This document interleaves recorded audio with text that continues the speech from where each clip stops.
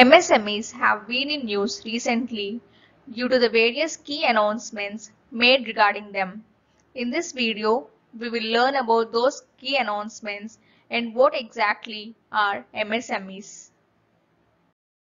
I am Ujjwala Pullela, an educator at Clear IAS, and let us continue with our topic for today that is MSMEs.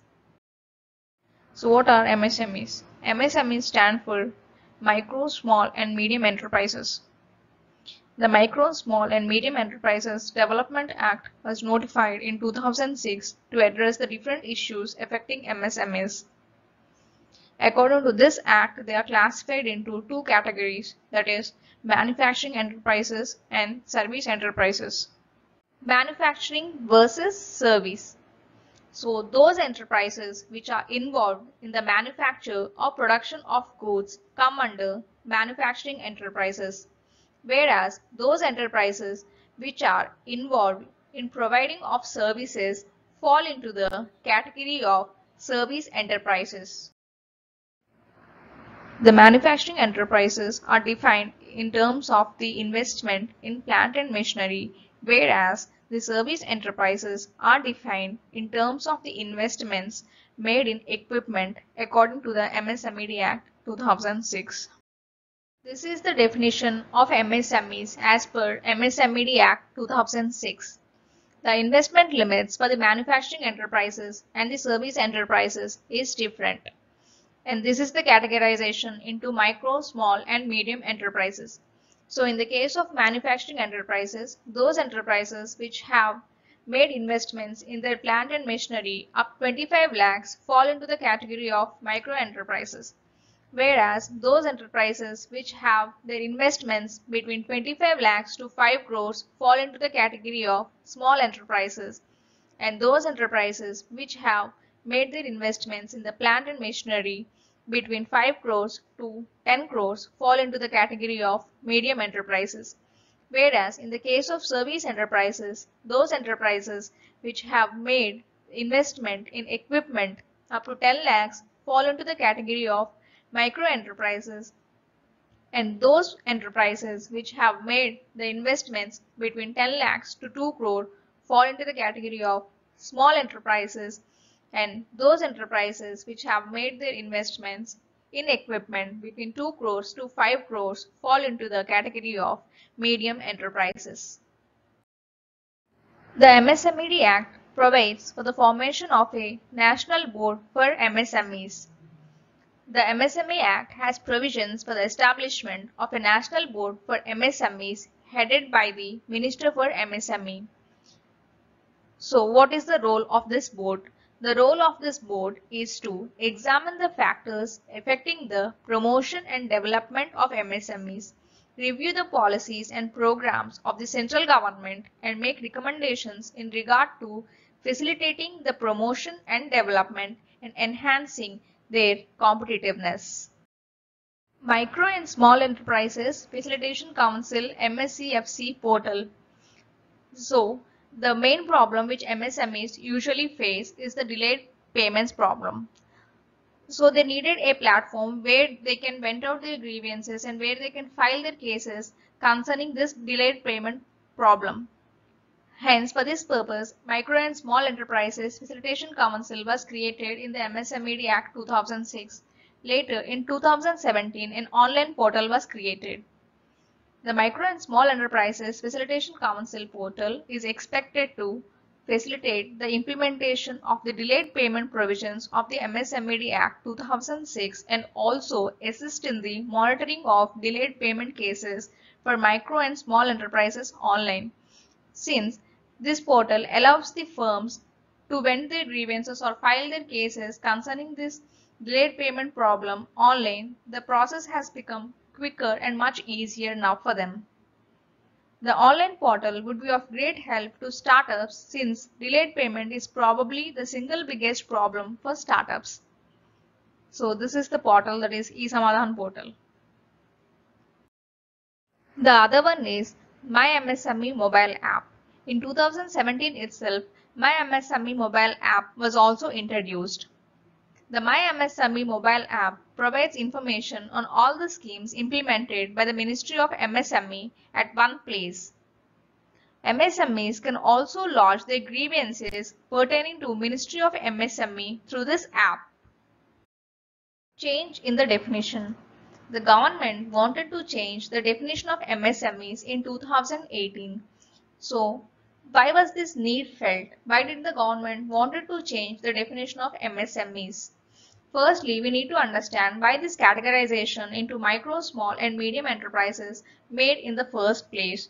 This was made to provide varying degrees of benefits to these enterprises falling in the specific category of micro, small or medium.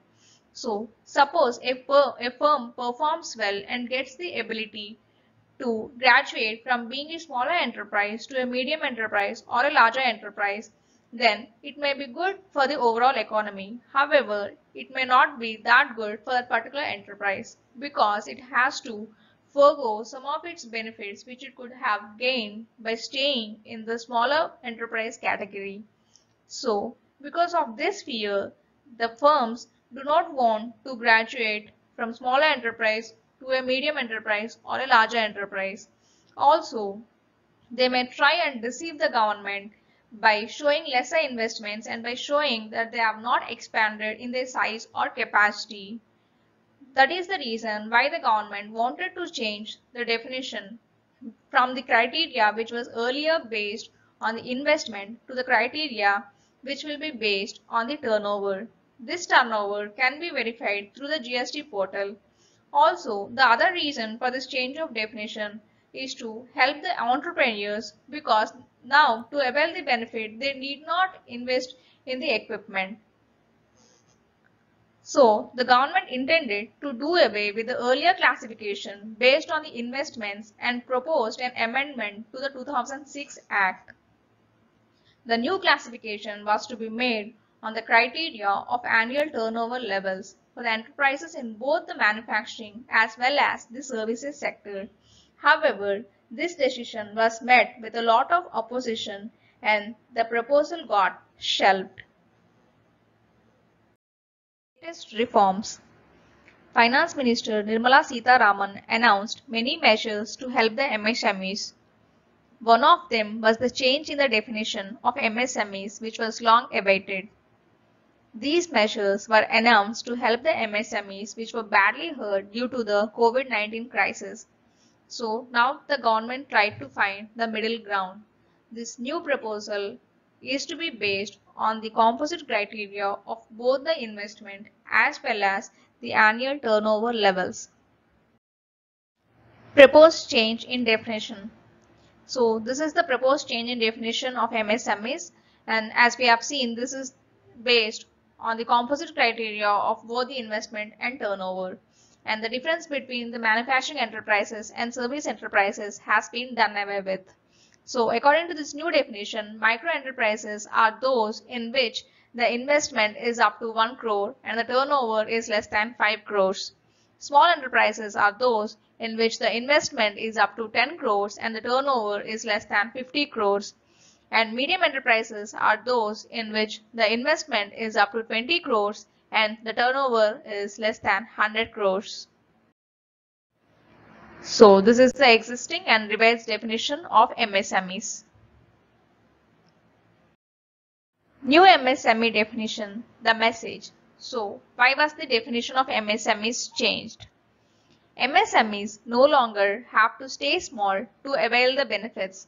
In the words of our Finance Minister Nirmala Sitharaman, the definition being changed is done in the favor of MSMEs. There has always been this fear among successful MSMEs also that if they outgrow the size of what has been defined as an MSME, they will lose their entitled benefits.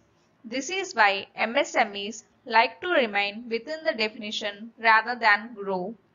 With the revised definitions of MSMEs, they will not have to worry about growing their size and can still avail the benefits. Other announcements related to MSMEs. Collateral free loans up to 3 lakh crores and this will benefit almost 45 lakh units. For the stressed MSMEs, rupees 20,000 crore subordinated debt was announced. This would benefit almost 2 lakh MSMEs. Not allowing global tenders up to rupees 200 crores. So, in the case of tenders up to 200 crores, no global player will be allowed to participate in such tenders. So, this would benefit the local MSMEs to grab the opportunity and expand their business and grow in size.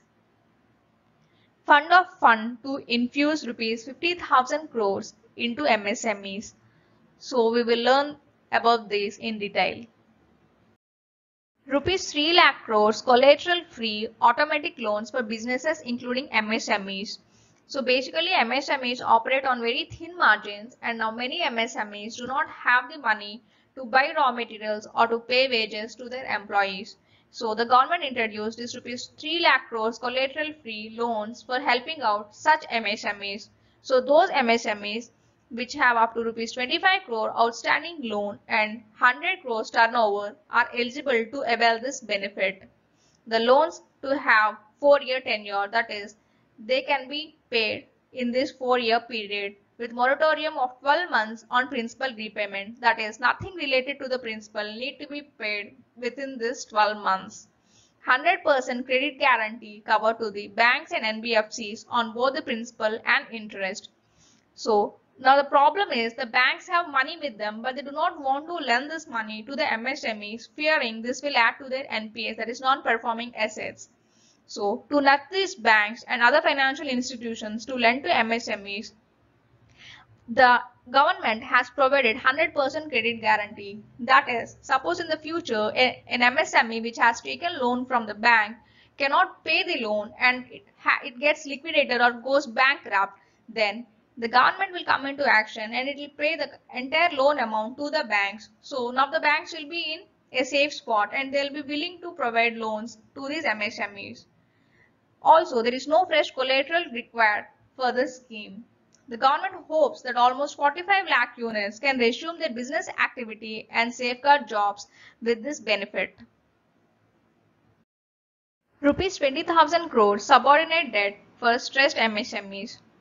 So the previous scheme was for those MSMEs which have been performing well before the lockdown period and now due to this lockdown or the corona crisis are unable to perform well and do not have the resources to continue their business. Whereas this 20,000 crore subordinate debt is especially for the stressed MSMEs. So these MSMEs are already stressed with their business activity and have become NPAs. So the banks will not will to lend to such MSMEs. So stressed MSMEs need equity support. Government of India will facilitate provision of rupees 20,000 crore as subordinate debt. So what is subordinate debt? Subordinate debt is an unsecured loan and also known as junior debt and it ranks below other senior loans. That is, suppose a firm liquidates, then it has to pay back its lenders money by selling off its assets.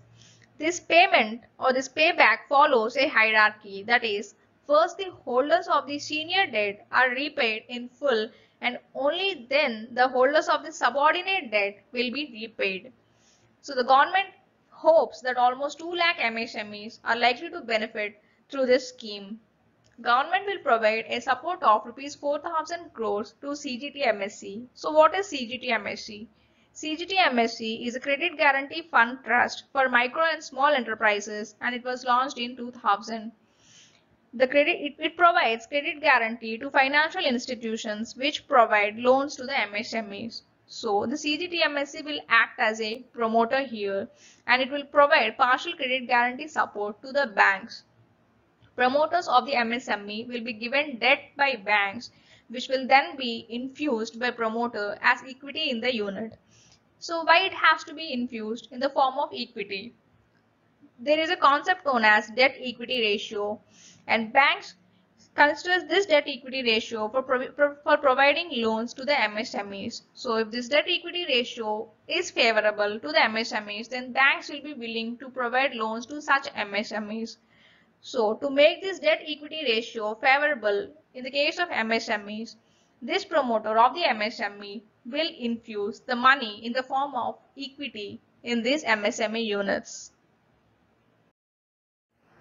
Rupees 50,000 crore equity infusion for MSMEs through fund of funds. So equity is basically a sort of capital required for the MSMEs to grow in size. To help the MSMEs grow in size as well as capacity, this 50,000 crore equity infusion through fund of funds is being provided. Fund of funds with a corpus of 10,000 crores will be set up and will provide equity funding for MSMEs with growth potential and viability. Fund of funds will operate through a mother fund and few daughter funds. So this 10,000 crores will be will act as a mother fund and it will invest in further small funds known as the daughter funds. And these daughter funds like the venture capitals or the private enterprises then introduce money into the MSMEs in the form of equity so this equity will help the MSMEs to expand its size and capacity. The fund structure will help leverage rupees 50,000 crore of funds at daughter funds level.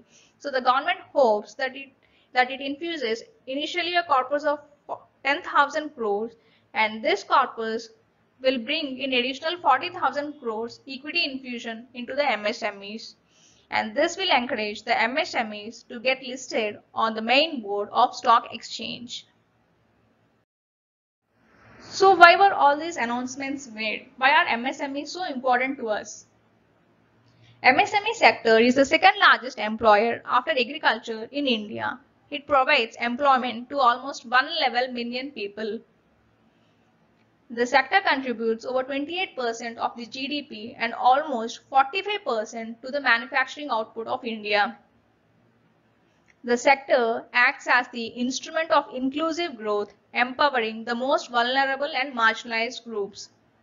So, through these points, we can understand how important our MSMEs for us. They have the capacity and the capability to create a lot of employment to the people of the country.